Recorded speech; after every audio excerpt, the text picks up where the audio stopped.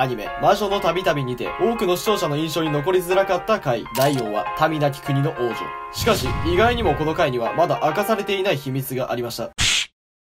はいどうも、ここやです。魔女の旅々のアニメ終わったのに全然飽きないね。それほど個人的に刺さってたってことなんでしょうか。さあ、今回もアニメ魔女の旅々についてでございます。なんか未だにアニメ魔女旅掘り下げてんのって多分俺ぐらいだと思うわ。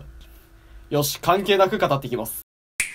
さあ、第4話といえば、ミラロゼさんの話でございますよ。ネットの反応を見てると、この第4話って、結構好評だとか、批判されてるってより、無感想の方が多いんですよ。だから視聴者の中でもうっすらモヤモヤした話なのかなって思ってます。俺も好きな話はって聞かれたら多分頭からすぐには出てこないと思うし、多分みんなもそうだと思うんですよ。しかし、俺見つけちゃったんですよ。制作陣からのメッセージを。それが一体何なのか、小ネタも含めて片っ端から話していこうと思います。まず手始めにこいつ、ジャバリエ。こいつは特に今回あんまり深く関係はしないんで、小ネタ程度で話していこうと思います。このジャバリエって怪物、おそらくですけど、海外の動画とかによく出てくる、ジャバオックっていう怪物と、フランス語のバリエ、このバリエっていう単語、日本語で変化するって意味を持った言葉なんです。このジャバオックとバリエがなぜ組み合わさってるかって思ったというと、なぜならとある人物に変化をさせられた怪物だからですね。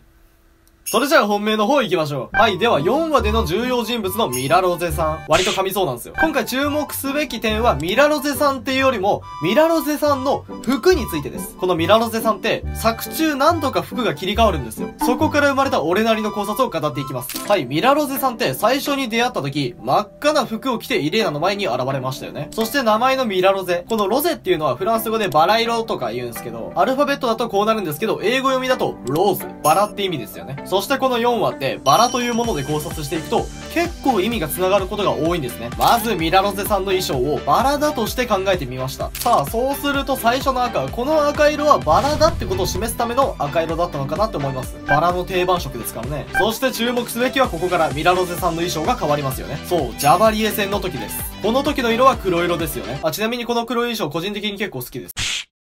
そんなことはさておいて、黒ということで黒色のバラの花言葉で考えてみると、憎しみ、恨み。といった割と怖い意味が多いんですね。そしてジャバリエ戦の前にミラロゼさん、こんなことを言ってました。あの手紙を書いた人のジャバリエに対する恨みは本物よ。と言ってましたね。そしてこの手紙を書いた人は、記憶が消える前のミラロゼさんでしたね。記憶は消えても、憎しみや恨みは消えないってことなんでしょうか。そしてジャバリエ戦後半、記憶を取り戻したミラロゼさんは、憎しみや恨みをジャバリエにぶつけていましたね。それが達成されたことにより、あの笑顔だったんですね。そしてその後、ジャバリエの血が青色だったことを覚えてますでしょうか？あの青色、うちのイレイナにもかかっちゃったんですよね。そしてもちろんそれはミラノゼさんにも。そしてここでバラの豆知識。バラってとある伝承みたいなものがございまして、まあ、がっつり省略するんですけど、深く知りたい方はぜひ調べてみてください。もともと白色だったバラが血で染まり赤色になったっていう話があるんですよ。それと同様に、ミラノゼさんの服に青色の血がつきましたよね。そして青色のバラの花言葉は、不可能や存在しないっていう、まあネガティブなものもあるんですけども、ポジティブな意味でで夢が叶うって意味があるんですね。本来ミラロゼさんのジャバリエ、元い、父親を殺すという夢が叶ったという意味があるんじゃないでしょうか。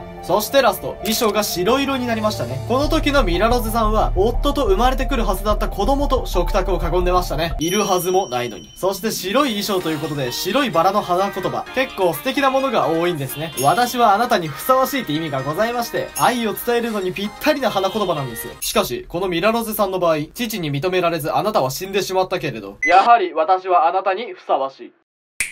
はい、意外と感想を聞かない4話に、こんなメッセージ性のあるものがあったんだと勝手に思ってるんですけども、結構辻褄合ってますよね。アニメのみからの考察なんで、原作ではどうなってるかわかりませんが、個人的になくもない話ではないでしょうかと思います。あと、ちょっとしたプチ考察なんですけども、ジャバリエ戦前日の夜、イレイナとミラノゼさんが話してる時、数秒ですが、月映りましたよね。この月なんだか普通より青いですよね。青い月って呼び名があるんですね。それがブルームーンって言うんですけども、バラの花にブルームーンって呼ばれる花があるんですよ。まあ、意味は不吉な予感とかあるんですけども、まあ、こういうとこ含めて考察の信憑性が増してるんじゃないかなと思ってます。気になった方は今一度アニメを見返してみてはいかがでしょうかそして感想やコメント、また指摘などあればコメント欄にお願いします。あと個人的に考察やリクエストがある方は、俺の Twitter の DM に送ってみてください。それではお時間いただきました。バイバイ。